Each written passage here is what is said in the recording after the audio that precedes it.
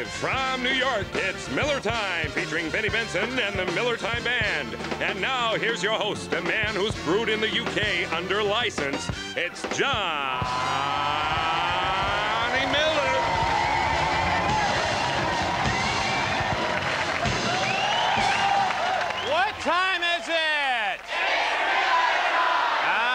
Yeah, Miller time, and the living is easy. Mwah. Benny, have you had a good day? Oh, yeah. I wrote a couple of numbers. Very nice.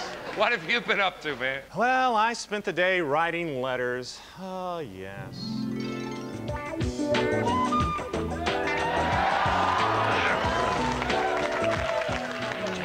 Hmm? Oh, right, I'm sorry. Uh-huh. Well, uh, let's see what's in the fridge.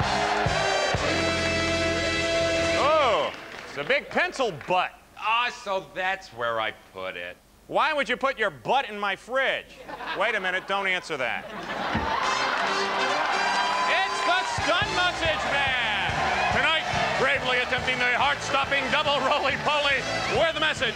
He stares in the face of danger and laughs like the toothless little dork that he is. Thank you, Stunt, for this list of questions to ask Pilsner, the talking dog.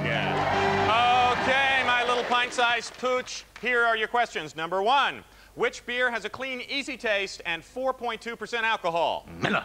Correct. Who was he? Band leader in the 40s, wrote in the mood, first name Glenn. Miller. Good boy. What is the Japanese word for mirror? Miller. Ume. And finally, what is the name of the coolest chat show host ever to appear on TV? Jonathan Ross. Is this about the vet and the thermometer? We'll talk about this. Right after this word from our sponsor. It's cheaper than ever to make that call to someone you love. But take my advice. Don't waste your money calling up that good-for-nothing Wiltshire brat of a son. Spend your money on Miller Pilsner instead.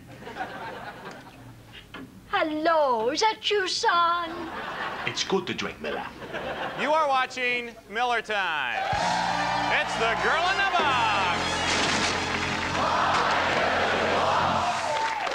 my package princess is in the box with you this week? Well, this week, Johnny, I got the Chatatala himself. I got Mr. Jonathan Ross. How nice for him. Well, unfortunately, that's all for this week. Jonathan, take a bow. Benny, get me out of here. I want to go home. You've been watching Miller Time. Can I have a word with you? Yeah, come on.